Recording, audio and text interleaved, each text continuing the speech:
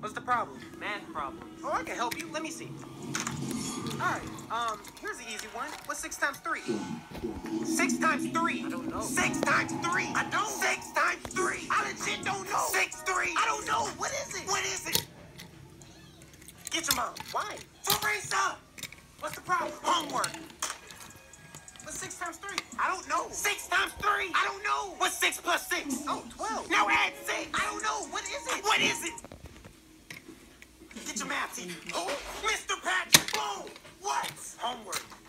I taught you this. What's six times three? I don't know. Look, if Johnny had What are you six times three Jimmy? amounts of this soap, how much this soap would he have? How much? How much?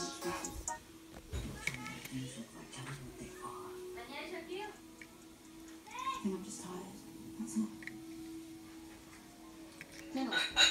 The Falcons still